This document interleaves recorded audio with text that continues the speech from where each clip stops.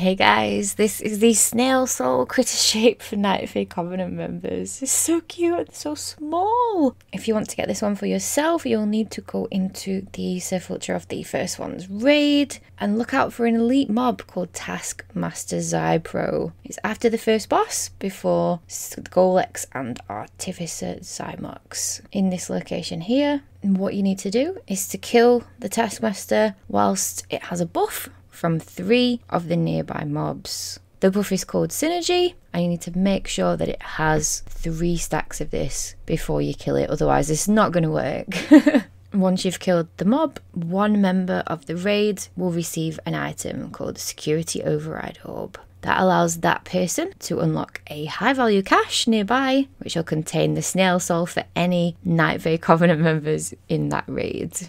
Good luck! Thanks for watching this video. I hope it was helpful in some way. If you have any questions or feedback, please leave a comment and be sure to subscribe for more videos. All my links are in the description below. Bye!